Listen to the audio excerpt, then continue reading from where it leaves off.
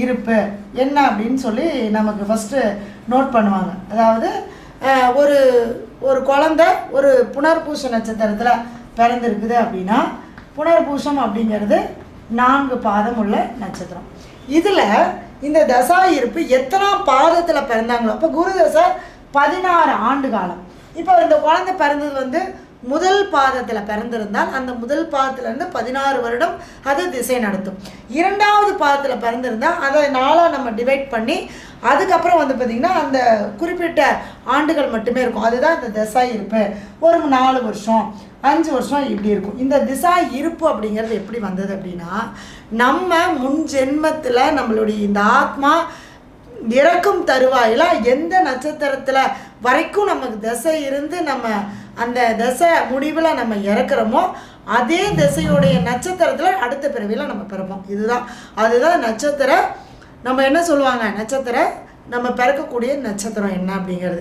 இது என்ன அப்படின்னா இப்போ நமக்கு வந்து இப்போ வந்து நம்ம குரு திசையில் பிறக்கிறோம். ஒரு சுக்கர திசை சூரிய திசை வருது. சூரிய திசை இருக்கும்போது நம்ம இறந்துறோம். அப்போ அந்த சூரிய திசையில் என்ன வரைக்கும் இருப்பு போச்சோ நம்ம இருந்தோமோ அது போக மீதி தசா இருப்பு போக மீதி அப்படின்னு சொல்லுவாங்க. அதாவது கர்ப்பத்தில் சென்ற சென்ற நாளிகை நின்ற நாளிகை அப்படின்னு சொல்லுவாங்க. அதுதான் அந்த கால்குலேஷன் திசா இதோடைய கணக்கு. சரிங்களா? அப்போ அப்படிப்பட்ட நமக்கு வந்து பார்த்திங்கன்னா இந்த இருபத்தி ஏழு நட்சத்திரத்தில் நம்ம ஒவ்வொரு நட்சத்திரத்துலேயும் நான்கு பாதங்கள் இருக்குது இப்போ இரு இன்னைக்கு வந்து இருபத்தேழு நட்சத்திரமும் நூற்றி எட்டு பாதமும் கர்ம வினைகளை தீர்க்கும் கர்ம கோயில்கள் தான் நம்ம இன்றைக்கி கொடுக்க போகிறோம் இந்த பதிவை நீங்கள் முழுமையாக பாருங்கள் அப்போ தான் உங்களுக்கான அந்த கோயில்கள் வரும்போது கண்டிப்பாக உங்களுக்கு அது நமக்கு தெரியும். சரிங்களா? இப்போ வந்து என்ன அப்படின்னா முதல்ல வந்து ஒரு நட்சத்திரம் அதனால தான் நம்ம வந்து நட்சத்திரத்தை சொல்லி அர்ச்சனை பண்ணுவோம். ஏன் நட்சத்திரத்தை சொல்லி அர்ச்சனை பண்ணுறோம் கோவிலுக்கு போனால் நட்சத்திரம் தான் கேட்குறாங்க நீங்கள் என்ன லக்னத்தில் பிறந்தீங்க?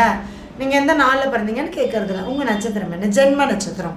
அதுதான் நம்மளுடைய ஜென்ம நட்சத்திரம். ஜென்ம ராசி. எந்த நட்சத்திரத்தில் எந்த ராசியில் நிற்குதோ அதுதான் நம்மளுடைய ராசியாக இருக்குது சரிங்களா? அப்போ முதல் நட்சத்திரம் அப்படின்னா அதாவது இருபத்தி ஏழு நட்சத்திரத்துக்கு ஒரு நட்சத்திரத்திற்கு முதல்ல நான்கு பாதம். இருபத்தேழு நட்சத்திரத்துக்கு முதல்ல என்ன நம்ம தெரிஞ்சுக்கணும்னா ஒரு நட்சத்திரத்துக்கு நான்கு பாதம். அப்போ இருபத்தி ஏழு நட்சத்திரத்திற்கு பார்த்தீங்கன்னா மொத்தம் நூற்றி எட்டு பாதம். அதனால தான் நூற்றி எட்டு அப்படிங்கிறது ஒரு ஸ்பெஷலான ஒரு நம்பராக இருக்குது நம்ம அந்த காலத்துலலாம் பார்த்திங்கன்னா எல்லாமே நூற்றி எட்டு நூற்றி எட்டுன்னு தான் சொல்லுவாங்க. ஆலயங்கள்லேருந்து நம்ம ஒரு வழிபாடுகள் பண்ணுறதுலேருந்து நம்ம ஒரு மந்திரங்கள் சொல்கிறதுலேருந்து எல்லாமே நூற்றி எட்டு சொன்னால் தான் முழுமையடையும். அப்படிங்கிறது தான் ஒரு கணக்கு. அந்த நூற்றி எட்டை தான் நம்ம என்ன பண்ணிட்டோம்? இப்போ அரை மண்டலம் கால் மண்டலம் நாற்பத்தெட்டு நாள் இருபத்தி நாலு நாள்னு நம்மளாம் நம்மளுடைய சௌரியத்துக்கு பண்ணிட்டு ஒழிஞ்சு இந்த நூற்றி எட்டு அப்படிங்கக்கூடிய ஒரு நாள் எந்த விஷயமா இருந்தாலும் ஒரு நூற்றி எட்டு நாள் செய்யும்போது தான் அதற்குண்டான பலன்களை நம்ம அனுபவிக்க முடியும். நம்ம என்ன பண்ணிடுறோம்? நம்ம பத்து நாள் செஞ்சுட்டு பதினோராவது நாள் அந்த பலன் எதிர்பார்க்கணும்னா எதிர்பார்க்க முடியாது. ஏன்னா ஒரு விஷயம் நமக்கு பழகிறதுக்கு ஏன்னா ஒரு நட்சத்திர பாதம் என்பது ஒரு நட்சத்திரத்துக்கு நான்கு பாதங்கள். அப்போ அந்த நூற்றி எட்டு நாட்கள் எதை செஞ்சாலும் நூற்றி எட்டு முறை எழுது. நூற்றி எட்டு முறை படி நூற்றி எட்டு முறை சொல்லு நூற்றி எட்டு முறை எழுது அப்படின்னு சொல்கிறாங்க இல்லையா இப்போ ஒரு பேரே எடுக்கிறோம். நமக்கு ஒரு பேர் மாற்றி வைக்கிறோன்னா நூற்றி எட்டு முறை எழுதுங்க அப்படின்னு சொல்கிறாங்க இல்லையா? அது என்னென்னா பதிவாகும். அதுதான் பிரபஞ்சத்தில் பதிவாகக்கூடிய ஒரு விஷயம் என்பது அந்த நூற்றி எட்டு சரிங்களா? இப்போ வந்து சதயம். சதய நட்சத்திரம் கும்பராசி. சதயம் வந்து உதயமாகும் அப்படின்னு சொல்லுவாங்க. சதயத்தில் பிறந்தால் அந்த வீட்டில் வம்சம் விருத்தியாகும் வளர்ச்சியை கொடுக்கும் அப்படின்னு சொல்லுவாங்க. சரிங்களா? இப்போ சதய நட்சத்திரம் அப்படின்றப்ப வந்து பார்த்திங்கன்னா நம்மளுடைய அம்சத்தில் ஒன்றாம் பார்த்தா எங்கே விழுகும் அப்படின்னா தனுர் ராசியில் விழுகும். அப்போ இந்த சதய நட்சத்திரத்தில் பிறந்தவங்களுக்கு என்ன மாதிரியான பிரச்சனை அப்படின்னு கேட்டிங்கன்னா இவங்க முதல்ல மனசுக்குள்ளே என்ன இருக்குதுன்னு யாராலையும் கண்டுபிடிக்க முடியாது. அடுத்தது இவங்க எந்த ஒரு விஷயத்துக்கும் பெருசாக ஆசைப்பட மாட்டாங்க.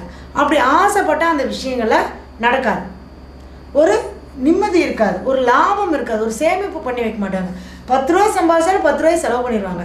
அந்த பத்து ரூபாயில ஒரு ரெண்டு ரூபா சேமித்து வைக்கலாம் அப்படிங்கிற அந்த எண்ணம் கூட அவங்களுக்கு வராது. ஏன்னா அவங்களால சேமிக்க முடியாது. நண்பர்களுக்காக நிறைய செலவு பண்ணுவாங்க. நண்பர்கள் மூலமாக தான் இவங்களுடைய லாபத்தை எல்லாமே இழப்பாங்க.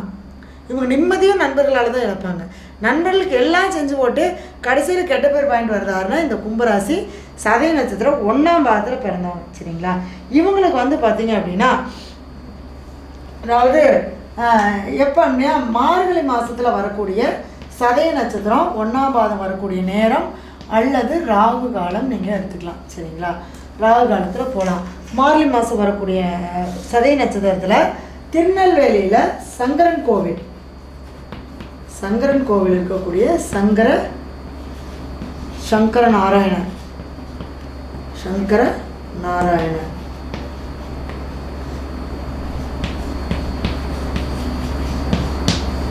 கோமதி அம்மன். இந்த சதய நட்சத்திரம் ஒன்றாம் பாதத்தில் பிறந்தவங்க சங்கர நாராயணர் கோவில் இருக்கக்கூடிய சங்கர நாராயணர் கோமதி அம்மன் வழிபாடு பண்ணி அவங்களுடைய அந்த வயசத்தினோ அத்தனை தீபம் போட்டு அர்ச்சனை பண்ணிட்டு வரும்போது அவங்களுடைய வாழ்க்கையில் இருக்கக்கூடிய அந்த தோஷங்கள் நமக்கு நிவர்த்தி ஆகும் சரிங்களா? அடுத்தது சதய நட்சத்திரம் ரெண்டாம் பாதம். சதய நட்சத்திரம் ரெண்டாம் பாதங்கிறப்ப மகரத்துக்கு வந்துடும் மகரம் வந்து பார்த்திங்கன்னா இவங்களுக்கு வந்து எவ்வளோ அதாவது இவங்க சொந்த தொழில் செஞ்சால் கொஞ்சம் லாஸ் ஆகிடுவாங்க அடுத்தது எவ்வளோ உழைப்பு இருந்தாலும் அந்த உழைப்புக்கு ஏற்ற அங்கீகாரம் கிடைக்காது. ப்ரமோஷன் கிடைக்காது. அதாவது ஒரு வேலைக்கு போனாங்க அப்படின்னா அதே நிலையில் இருக்கிற மாதிரியே இருப்பாங்க. ஒரு அடுத்த நிலைக்கு போகிறதுக்கான ஒரு வாய்ப்புகளை உருவாக்கி கொடுக்காது. என்ன அஹ், ஆயிரம் சம்பளம் வாங்கணும்னா அதே ஆயிரம் தான். பத்தாயிரரூபா சம்பளம் வாங்கணும்னா பத்தாயிரரூபா தான். அதுக்கு மேலே நம்மளால் ஒரு ரூபா கூட சம்பாதிக்க முடியாது. அந்த தொழிலில் ஒரு அந்த அடுத்த நிலைக்கு போகிறதுக்கான வழிமுறைகளை இந்த ரெண்டாம் பாதத்தில் பிறந்தவங்களுக்கு கொஞ்சம் பாதிப்பை கொடுக்கும். சரிங்களா? இவங்களுக்கு வந்து பார்த்திங்க அப்படின்னா தை மாதம் வரக்கூடிய சதை நட்சத்திரம் ரெண்டாம் மாதம் வரக்கூடிய நேரத்தில் அதாவது உத்தரகோச மங்கையில் இருக்கக்கூடிய ராமநாதபுரம் மாவட்டம் உத்தரகோச மங்கை இருக்கக்கூடிய மங்களநாதர்.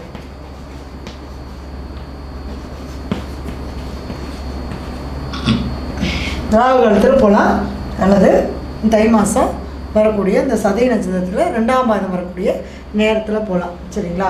ராமநாதபுரம் மாவட்டத்தில் மாவட்டத்தில் உத்திரகோசம் அங்கே இருக்கக்கூடிய சுவாமி. சரிங்களா? அடுத்தது சதய நட்சத்திரம் மூன்றாம் பாதம். மூன்றாம் பாதம் பார்த்தீங்க அப்படின்னா மறுபடியும் கும்பத்திலே தான் வரும். இவங்களுக்கு வந்து பார்த்தீங்கன்னா அதாவது தந்தை. தந்தை மூலமாக இவங்களுக்கு கிடைக்க வேண்டிய எந்த ஒரு பாக்கியமும் இவங்களுக்கு கிடைக்காது. இவங்க தந்தையானதுக்கு அப்புறமும் இவங்களுக்கு குழந்தைங்களுக்கு இவரால் கிடைக்கக்கூடிய பாக்கியமும் கிடைக்காது. அப்போ தந்தை மூலமாக நமக்கு ஒரு சில வருத்தங்கள் தந்தை உறவுகள் பெருசாக ஆசைப்பட்டு நான் அங்கே போகிறேன் இங்கே போகிறேன் அந்த மாதிரியான விஷயங்களுக்கு போக முடியாது. அதே மாதிரி ஒரு நீண்ட தூர பிரயாணம் ஒரு கடவுள் வழிபாடு ரொம்ப விரும்பி மனம் விரும்பி கும்பிட்றது இதெல்லாமே வந்து இவங்க இந்த சதய மூணாம் பாதத்தில் பிறந்தவங்க கொஞ்சம் அதனுடைய விஷயங்களை தாக்கங்களை கொடுக்கும் சரிங்களா? அடுத்து இந்த சதய மூணாம் பாதத்தில் பிறந்தவங்களுக்கு வந்து பார்த்தீங்க அப்படின்னா மாசி மாதம் வரக்கூடிய சதய நட்சத்திரத்தில் தஞ்சாவூரில் இருக்கக்கூடிய தஞ்சை பெரிய கோயில் அப்படின்னு சொல்லக்கூடிய பெரிய கோயிலில் இருக்கக்கூடிய அம்பாள் பெரிய நாயகி தஞ்சை பெரிய கோயில். தஞ்சாவூரில் தானே பிரகதீஸ்வரர் கோவில். தஞ்சை பெரிய கோவில் பிரகதீஸ்வரர் கோவில் அங்கே பெரிய நாயகி பிரகதீஸ்வரர் பெரிய நாயகி. அம்மனை அங்கே போய் இங்கே வழிபாடு பண்ணிட்டு வரணும் சரிங்களா? இந்த சதய நட்சத்திரம் மூணாம் பாதத்தில் பிறந்தவங்களுக்கு இந்த தஞ்சாவூர் போயிட்டு வரும்போது உங்களுக்கு நிச்சயமாக ஒரு நல்ல மாற்றம் கிடைக்கும் சரிங்களா? அடுத்தது சதய நட்சத்திரம் நான்காம் பாதம். இந்த சதய நட்சத்திரம் நான்காம் பாதம் அப்படின்றப்ப பார்த்தீங்க அப்படின்னா இவங்களுக்கு வந்து என்ன? கல்யாணம் ஆகிற வரைக்கும் கல்யாணம் ஆகலையேன்னு கவலைப்படுவாங்க. கல்யாணம் ஆனதுக்கப்புறம் ஏன்டா கல்யாணம் ஆச்சுன்னு கவலைப்படுவாங்க. இவங்களுக்கு எப்போவுமே ஒரு மாதிரி அந்த வாழ்க்கையில் ஒரு திருமணத்துக்கு அப்புறம் நிறைய அவமானங்களை சந்திப்பாங்க. நிறைய அவமானங்களை சந்திப்பாங்க. நிறைய கண்டங்களை தாண்டி தான் வருவாங்க. அவங்களுக்கு இந்த எட்டாம் பாவம் சம்மந்தப்பட்ட ஒரு இன்சூரன்ஸ் போட்டால் அதை வாங்குவ அதாவது ஒரு எதிர்பாராத அதிர்ஷ்டம் அப்படிங்கிறதெல்லாம் இவங்களுக்கு இல்லை. நம்ம நினைப்போம் இல்லையா? எதிர்பாராத அதிர்ஷ்டம். ஒருத்தருக்கெல்லாம் பார்த்தா கஷ்டப்படுறாங்க சீக்கிரமாக பெரிய ஆளாயிடுறாங்கன்னு. ஆனால் இவங்கெல்லாம் பார்த்திங்கன்னா வாழ்க்கையில் உழைப்பு உழைப்பு உழைப்பு மட்டும்தான். அந்த உழைப்புக்கான அங்கீகாரமோ ஊதியமோ கூட இவங்களுக்கு கிடைக்காது. சரிங்களா? இவங்களுக்கு வந்து பார்த்திங்கன்னா இந்த அஹ், சதய நாலாம் பாதத்தில் பிறந்தவங்க பங்குனி மாதம் வரக்கூடிய சதய நட்சத்திரத்தனைக்கு அதாவது தஞ்சாவூர் மாவட்டம் பசுபதி கோவில் அப்படிங்கிற ஊர். அதாவது தஞ்சாவூர்லேருந்து கும்பகோணம் போகிற வழியில் பசுபதி கோவில் இருக்குது அங்கே பசுபதீஸ்வரர் சுவாமி சரிங்களா? இது வந்து என்னென்னா நம்ம வந்து தஞ்சாவூர்லேருந்து கும்பகோணம் போகிற வழியில் இருக்குது இந்த பசுபதி கோவில்னு சொல்லக்கூடிய பசுபதீஸ்வரர். இங்கே போயிட்டு உங்களுடைய மைசத்தினத்தில் தீபம் போட்டு அர்ச்சனை பண்ணிட்டு வந்தீங்கன்னா உங்களுக்கு இந்த சதய நட்சத்திரம் நாலாம் மாதத்துக்கு உண்டான அந்த தோஷங்கள் நிவர்த்தியாகும் சரிங்களா? அடுத்தது பூரட்டாதி.